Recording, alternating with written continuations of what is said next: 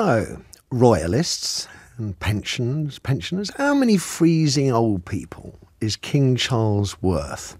How many pensioners should have to shiver through the winter to ensure His Highness can continue to live a fairy tale existence of publicly funded pleasure? A couple of hundred? A couple of hundred freezing old people, is that enough? A few thousand pensioners.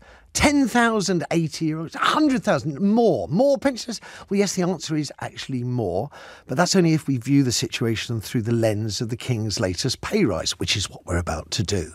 Because the papers let slip this week, with hardly any fanfare at all, that King Charles has uh, won a huge pay rise. In percentage terms, it dwarfs what ASLEF has won for train drivers and what the BMA has done for doctors, as Chas is going to trouser an astonishing 50% pay rise this year, equating to £45 million extra in hard cash.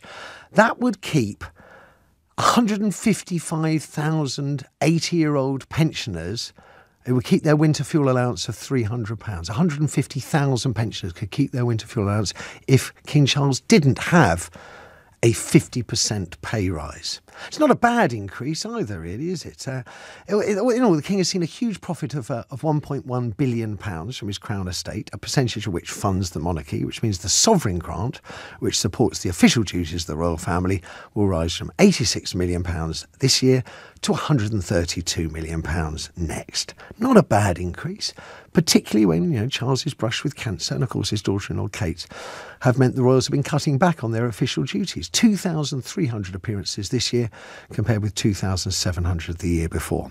A 50% pay rise for 15% less work. It's a nice gig if you can get it, and not a word of criticism from the same MPs who are happy to deny pensioners their winter fuel allowance. Not a word. Oh, don't be so churlish, Matthew.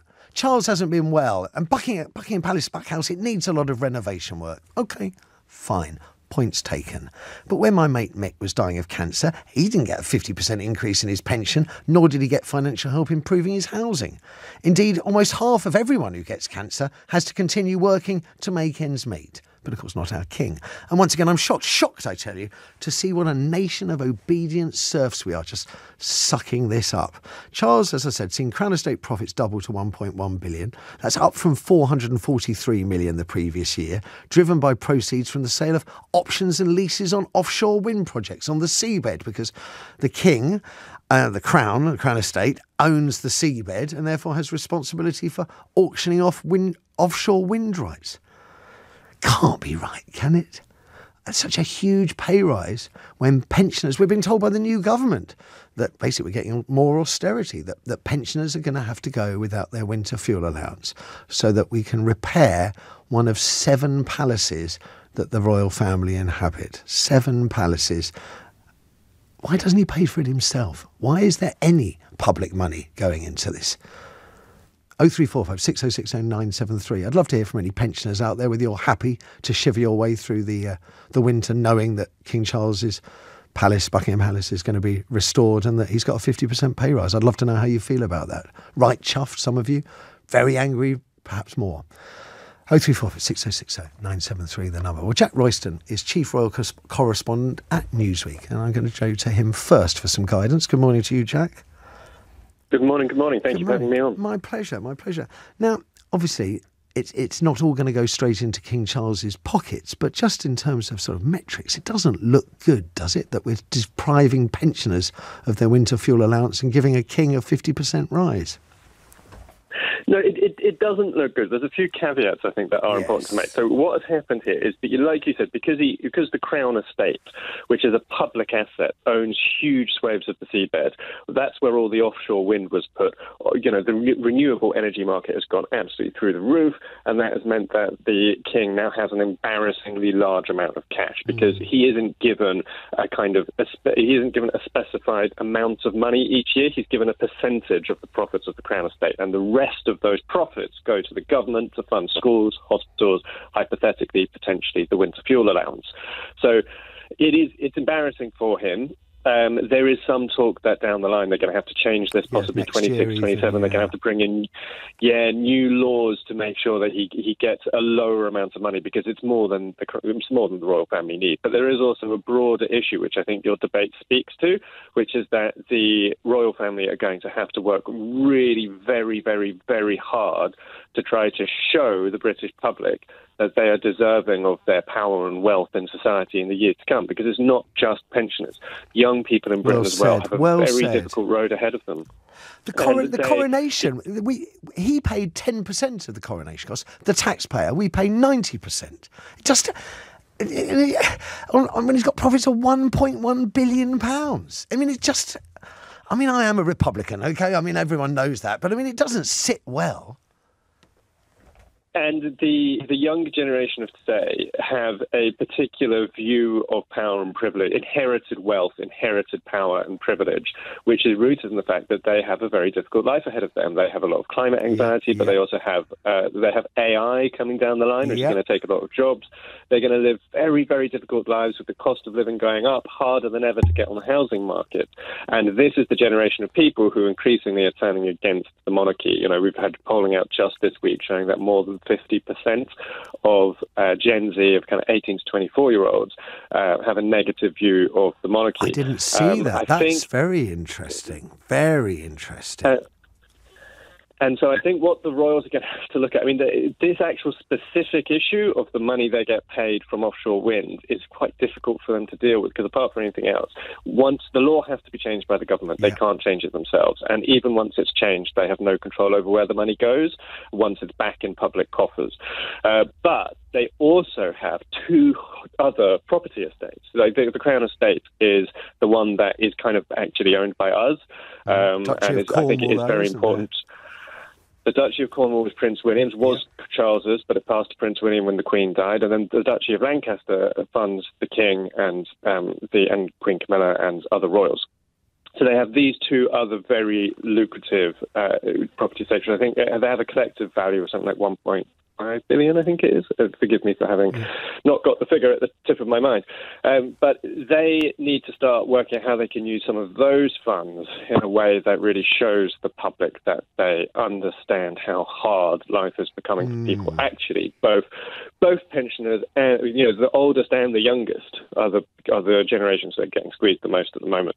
Um, one thing as well that I think you know Charles has had this long-standing ambition going back decades that he you know he needs the monarchy needs to slim down the monarchy in terms of the actual number of, of royals who appear on the Buckingham Palace balcony or who do jobs as working royals. But for me, I've never really been aware of anybody caring about that. I think when the public think about royal wealth, they don't think of the number of royals. They think of the number of residences. They think of the number Well of said. helicopter Well flights. They think of private jets.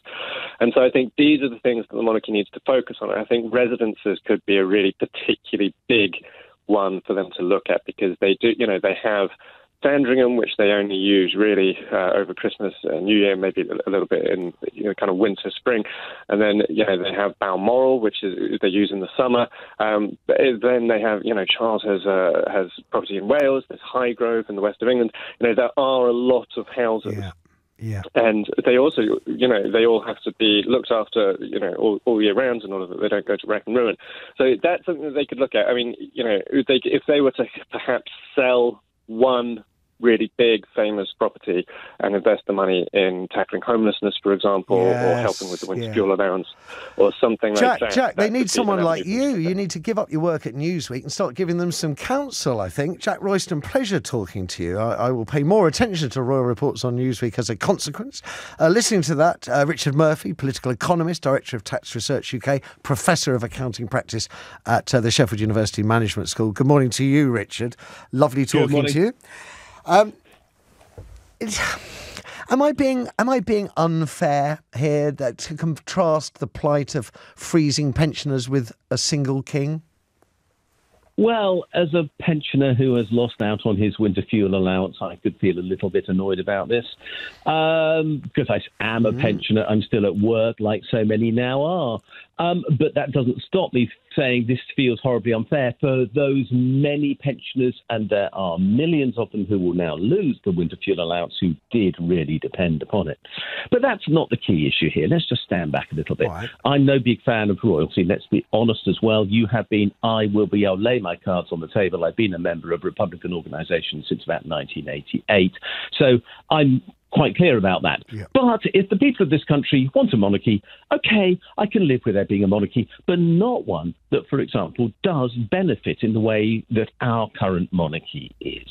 It is absolutely ludicrous that the edge of the UK, the waterlines, and the seabeds are owned by the crown. Bizarre, Why on bizarre. earth is it why is the beach the property, once it's met, met, the tide mark, why is the beach the property of King Charles? Why does he get the benefit of the fact that we're all moving green and there's going to be a lot more work done on the seabed to generate more energy? That makes absolutely zero sense at all. It says that we live in a society which values wealth and which values inheritance it, and which is fundamentally eugenic, saying that he has a right by birth to this much more than it values any young person, any person of talent, any person doing anything in this country, because he gets this by right. Other people have to work for it.